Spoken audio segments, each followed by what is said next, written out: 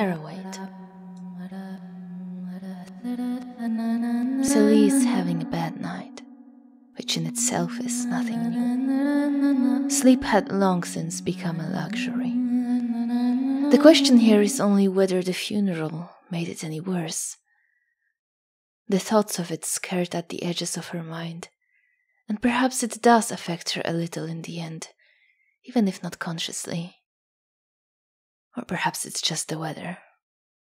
Finger by finger, toe by toe, she frees herself from the clutches of sleep paralysis. It's a technique she's mastered by now. With the few hours of sleep under her belt, Celie can forget about getting any more rest tonight. If she's not that tired, the fear will keep her well awake. And she has better things to do than toss and turn in futile attempts at wrestling her mind into serenity. If she plays it right, she might even have time for a breakfast other than a dry bread roll on the go. She did promise herself to enjoy the small things in life after all. On her way to the bathroom, Celie passes by the alcove with the picture of Mino. Hung over the empty dog bed she can't get herself to throw out seven months later. She still remembers wallowing in sorrow on the day he was put down. She can feel sadness. She isn't broken. No. Today just isn't the day. Taya stands in front of the mirror, looking at her body covered only with a diaphanous slip. The black funeral dress is ironed and ready, but she doesn't want to put it on. Eventually she will, though her skin crawls at the thought she has to wear it for the wrong man. It was eight months, three weeks, and five days ago that she wanted nothing more than to tear off her hospital scrubs and don this dress. Stop, she tells herself for God knows which time. But it works for once. Her thoughts drift back to the funeral and Celie. Taya wishes she knew why they had to go, but the best thing she can do for her friend right now is not to ask.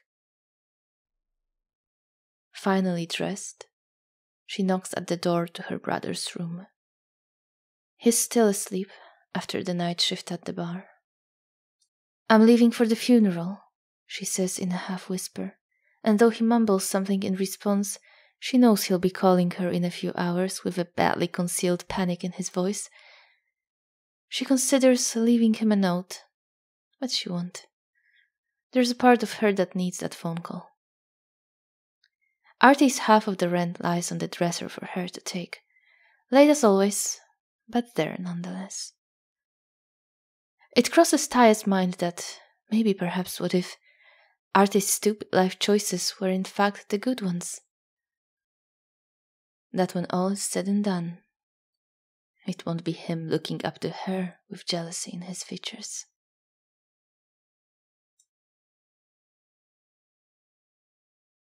Half past nine, Celie is downstairs, leaning on the street lamp and waiting.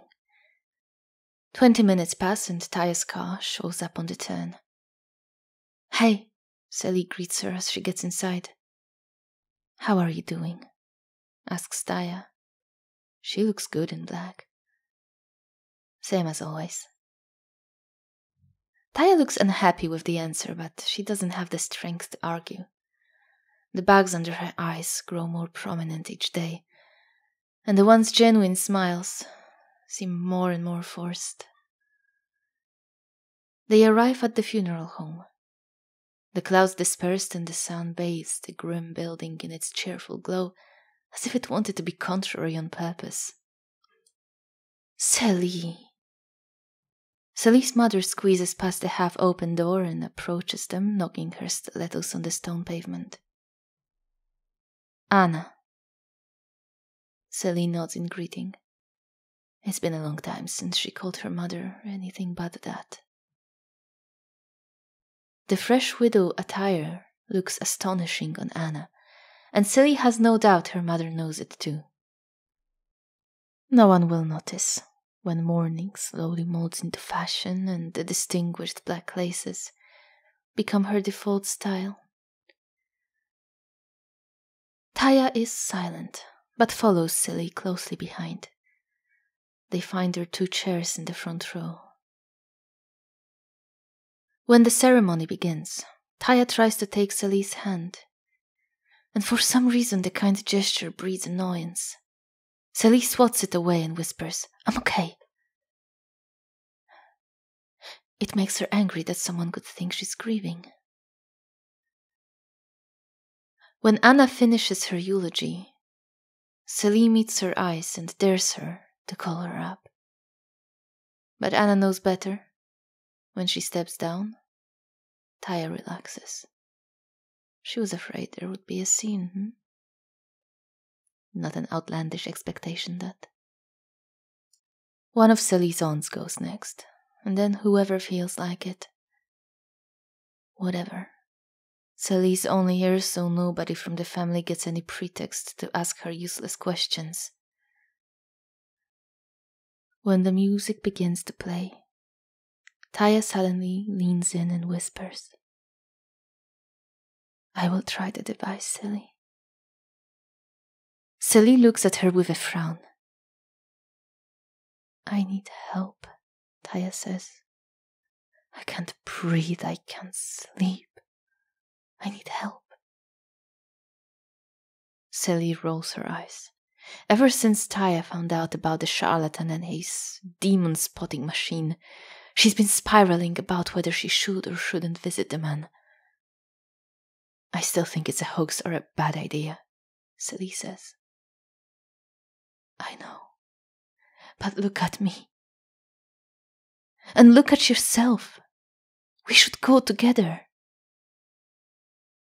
That's sweet, but no need. I'm fine.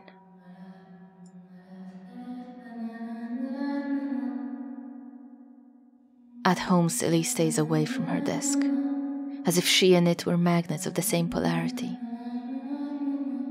It's only when she's finally worn herself out and heads for the bed that by the corner of her eye she sees the sheet of paper lying on the top. The title says Eulogy, and underneath it three lonesome words, just in case. To write anything more Celie would need more than a few measly days the refrigerated carcass provided her with. To the surprise of no one, she wakes up not long after dawn. The shadows of tree branches don't yet reach the frame of the painting hanging over her bed. Four hours of sleep, give or take. The clock is far to the side. She can't see it. Her body is frozen in place, paralyzed, and though her mind feels awake, she reminds herself it's stuck between the dreamland and reality. Whatever she feels, whatever she sees, it's not real. But she doesn't see much. There is no monster at the feet of her bed. There isn't any sitting on her chest. The weight that pushes down on her lungs, threatening to suffocate her if she makes the wrong move, has no source. It's like the very air collapsed on top of her. Oh, it's worse than usual. It's definitely worse. She listens to her own wheezing breath as she does what she can to awaken. She must hurry. The worst part is yet to come. Celie looks paler than usual when they meet under the demonologist's office. It's almost as if she thought it a competition or a challenge. Which one of them will fade away first? What do you expect to see? Celie asks Taya, more interested in that than whatever the man will have to show. She always found it hard to believe anything but ironclad facts. Taya shrugs. I really don't know. If he's a scammer, He'll have a tough task ahead of him, because I've got no clues for him to latch onto. She did her research. She knows how fortune tellers and the like operate. Good. The door to the private apartment, number 8, is inconspicuous. A classy silver plaque, nailed to the top frame, says simply We all have our demons, but they're not who we are. Surprisingly, it's Celie who knocks first.